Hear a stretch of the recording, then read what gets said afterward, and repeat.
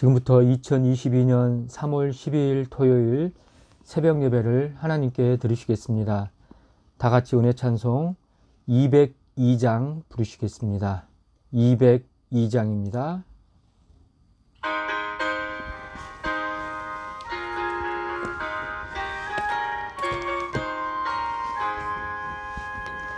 죄에서 자유를 얻게 함은 보혈의 능력 주의 보혈 시험을 이기는 승리되니 참 놀라운 능력이로다.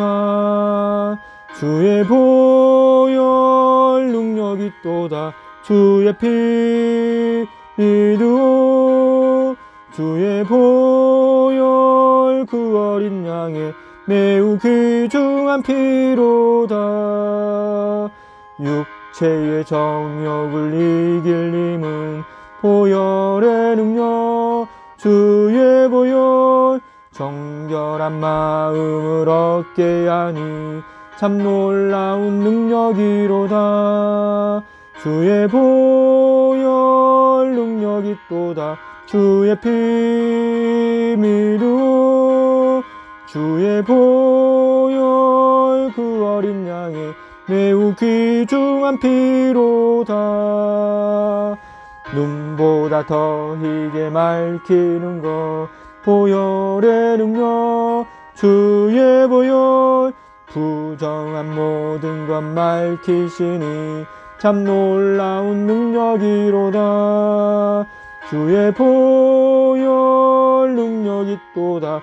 주의 피 믿음 주의 보혈 그 어린 양의 매우 귀중한 피로다. 구주의 복음을 전할 제목 보혈의 능력 주의 보혈.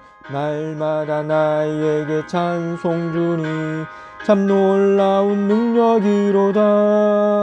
주의 보혈 능력이 또다 주의 피 믿음 주의 보혈 그 어린 양의 매우 귀중한 피로다. 아멘. 합심해서 기도하는 시간을 갖도록 하겠습니다.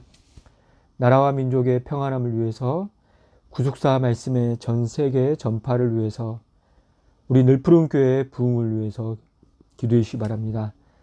특별히 모든 직분자들 날마다 깨어서 믿음으로 사명 잘 감당할 수 있도록 또한 모든 성도님들 영육간 강건함을 덧입을 수 있도록 그리고 사순절을 보내면서 온전한 회개와 갱신을 이루며 절제와 경건한 생활로 예수님의 발자취를 쫓아갈 수 있도록 아멘 할렐루야 삼창하시고 간절히 기도하시겠습니다. 아멘 할렐루야. 아멘. 할렐루야. 아멘. 할렐루야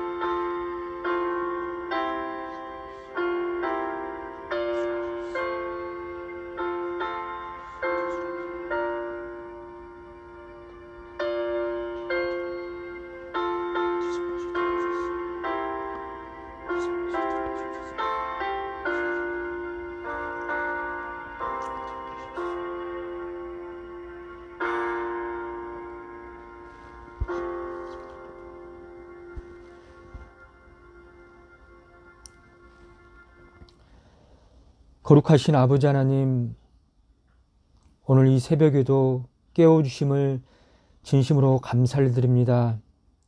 아버지 하나님, 우리가 사순절을 지낼 때에 결코 감사를 잊어버리지 않게 하여 주시옵시고, 기쁨으로 절제하면서 예수님의 고난의 발자취를 따라갈 수 있도록 역사하여 주시옵소서. 이 시간에 주시는 말씀에 큰 은혜 받기를 소원합니다. 마치는 시간까지 함께하여 주시고 홀로 영광 받아 주시기를 소원하며 사랑이 충만하신 예수님의 이름 받들어 감사기도 올리옵나이다. 아멘. 함께 은혜 받으실 생명 양식은 디모데후서 4장 6절부터 8절까지 말씀이 되겠습니다. 제가 받들어 읽겠습니다. 관지와 같이 벌써 내가 부음이 되고 나의 떠날 기약이 가까웠도다.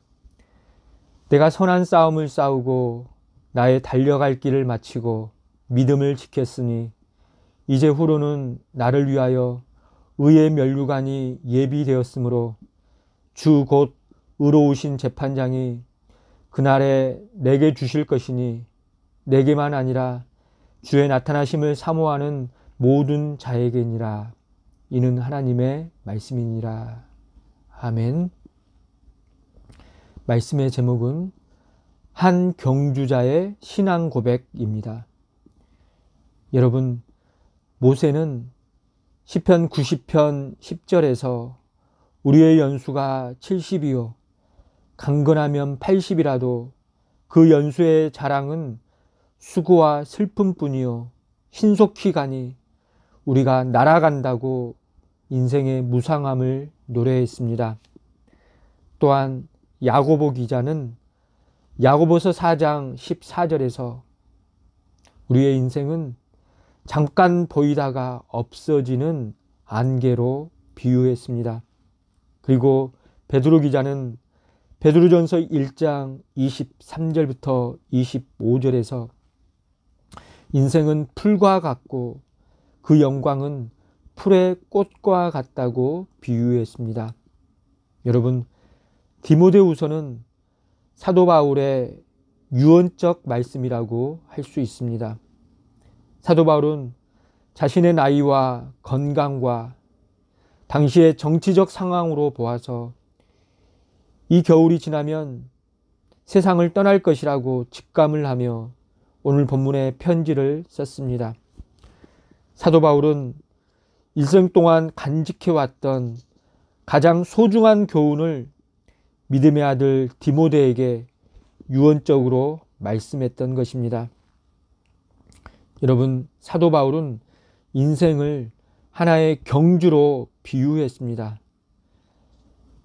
그는 오늘 본문에서 자신이 달리는 마음으로 경주자의 자세를 지키며 모든 일을 행했다고 말씀합니다. 그리고 자신에게 주어진 모든 경주의 코스를 다 마쳤다고 말씀합니다. 여러분, 인생은 출발점이 있고 코스가 있으며 종착점이 있습니다. 시작이 있으니 끝이 있다는 것입니다. 여러분, 사도 바울은 디모데전서 4장 6절에서 나의 떠날 기약이 가까웠도다 라고 말씀합니다. 여러분, 이 말씀은 떠날 준비가 있는 믿음에서 나온 고백입니다. 사도 바울은 끝이 있는 것을 알고 살았습니다. 그런데 많은 사람들은 끝이 있다는 것을 종종 잊고 살 때가 많습니다. 여러분, 우리 몸이 건강해도 언젠가는 병들 때가 있고 지금 힘이 있을지라도 언젠가는 힘이 빠질 날이 옵니다. 여러분, 사도 바울은 항상 끝을 생각하고 그 종말로부터 오늘을 생각했습니다. 빌보서 2장 16절에 보면 사도 바울은 그리스도의 날에 나로 자랑할 것이 있게 하려 함이라고 말씀합니다. 여러분, 이 얼마나 자신 있는 신앙 생활입니까? 그는 마지막 날에 내가 주님 앞에 어떤 모습으로 설 수 있을까 하는 것을 항상 염두에 두고 살아왔던 것입니다. 성도 여러분, 우리가 부하다, 가난하다, 건강하다, 출세했다, 실패했다는 것은 다 부질없는 과정에 불과합니다. 우리가 지난 일을 생각해 보면 지나가는 세상에 너무 마음을 많이 쓰고 살아왔습니다. 여러분, 반드시 우리 앞에 개인적 종말과 마지막 종말이 다가올진데 이것을 소홀히 여긴다면 가장 어리석은 사람일 것입니다. 여러분, 이 땅에서의 출발이 내 마음대로 된 사람은 아무도 없습니다. 그렇다면 우리의 끝도 내 마음대로 되는 것이 아닙니다. 하나님께서 어느 시간에 부르시든지 그 시간은 반드시 오는 것입니다. 여러분, 우리는 하나님께서 정해주신 코스에서 바로 믿고, 바로 깨닫고, 말씀에 순종하면서 우리에게 주어진 삶을 살아나가야 합니다. 여러분, 목적과 목표는 같은 것이 아닙니다.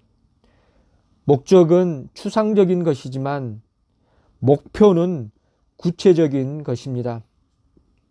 여러분, 이 땅에서 행복한 사람이란 자기 생의 목표를 알고 그 목표에 일치하는 오늘을 사는 사람입니다. 그렇다면 성도의 삶의 목표는 무엇일까요? 그것은 복음을 위하여 사는 것이 우리의 삶의 목표입니다. 이제 우리는 그 목표를 분명히 해야 하겠습니다. 사도 바울은 내가 예수 그리스도께 붙잡힌 바 된 그것을 잡으려고 쫓아간다고 빌립보서 3장 12절에 말씀합니다. 그는 예수 그리스도께 붙잡힌 바 된 그대로를 자신의 목표로 세우고 그것을 위해 달려가는 경주자가 되었습니다. 여러분, 우리는 예수 그리스도 복음을 위한 목표를 결코 변경해서는 안 됩니다. 목표에 일치하는 길만을 가야 합니다. 이 목표에서 이탈될 때 패하고 마는 것입니다. 이제 말씀을 맺겠습니다. 사랑하는 늘푸른 성도 여러분, 우리는 천국 가는 믿음의 경주자로서 하나님께서 정해주신 코스대로 따라가야 합니다. 괴롭고 아프더라도 받아들일 줄 아는 수용적 자세가 필요합니다. 내게 필요해서 주신 하나님의 은혜임을 알고 끝까지 순종하면서 따라가야 합니다.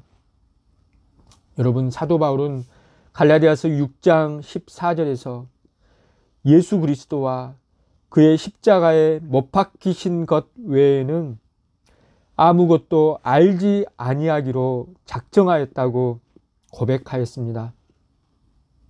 이처럼 저와 여러분도 내게 주신 경주의 코스가 어떠한 환경과 어떠한 골짜기로 전개되든지 간에 하나님께서 인도하시는 대로 묵묵히 감사하며 순종하면서 따라가시기 바랍니다. 이때 우리에게 절제가 필요합니다. 절제란 자기를 다스리는 훈련입니다. 고린도전서 9장 25절에 보면 이기기를 다투는 자마다 모든 일에 절제한다고 말씀합니다. 또한 고린도전서 9장 27절에도 보면 사도 바울은 내가 내 몸을 쳐 복종하게 함은 내가 남에게 전파한 후에 내가 도리어 버림이 될까 두려워함이라고 말씀하고 있습니다. 여러분, 우리 삶의 경주의 결정적 승패는 믿음에 있습니다. 오직 십자가에 초점을 맞춘 깨끗한 믿음을 말합니다. 여러분, 사순절을 지내며 경주자인 내 자신의 모습을 바라보면서 이제 남은 코스를 결코 휘청거리지 마시고 최후 승리자가 다 되시기를 주님의 이름으로 축원합니다. 시간 각자 가지고 나온 기도 제목을 놓고 간절히 기도하신 후에 주기름을 하시고 마무리하시면 되겠습니다. 다 같이 기도합니다. 아멘. 할렐루야. 아멘. 할렐루야. 아멘. 할렐루야.